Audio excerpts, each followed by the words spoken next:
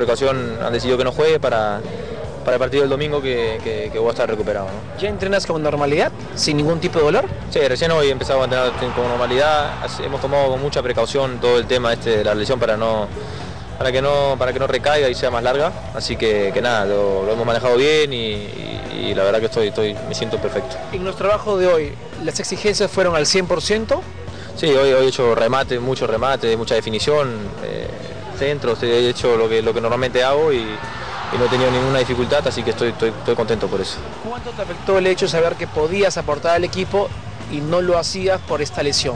No, es, de hecho que sientes impotencia, ¿no? Es, complicado, viene jugando, venía, venía de jugar con la selección, tenía muchas ganas de de, seguir sumando minutos y, me agarró en, un mal momento, ¿no? Pero, pero bueno, hay que aprender de todo, a veces pasan las cosas y hay que, hay que fortalecer la zona afectada para no recaer nuevamente. ¿El fin de semana te vemos ante la U?